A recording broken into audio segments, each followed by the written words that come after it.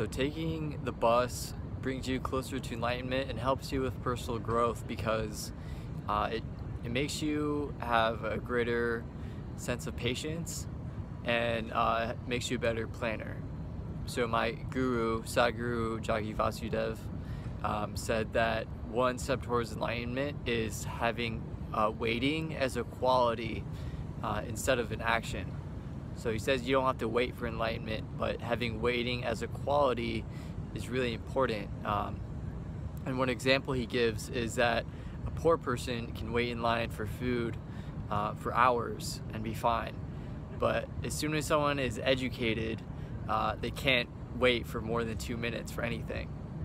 So the, the less you think of yourself, um, the easier it is to wait for something. The more you make yourself big, the, the bigger your ego is, uh, the less patience you have and the less you can wait for things to happen in your life because you're thinking of yourself too much. And enlightenment is essentially um, experiencing oneness with everything when there's no difference between what is you and what is not you. Um, this tree behind me um, is a part of, will become a part of my experience just as much as my body is a part of my experience.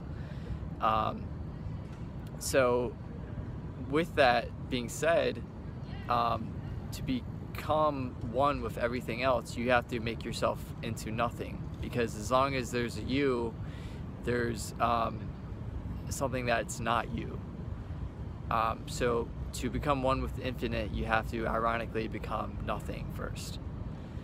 Uh, and that's why taking the bus is one step towards that because you're training yourself to be more patient instead of having a car to go around everywhere and um, do everything you want to do. And also personally, um, in terms of personal growth, if you're not interested in enlightenment, it makes you a better planner because uh, you have to have your day planned out more um, precisely um, because you can't just go drive anywhere. You have to know where you're going, know what needs to get done, um, and you can't waste as much time.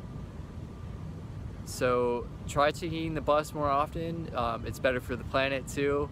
If you care about the planet, you know, we are a part of it, just like a cell is a part of a body. And uh, if you have any questions or comments about other ways in which you can um, take steps towards spiritual or personal growth um, or towards serving the planet, post them below.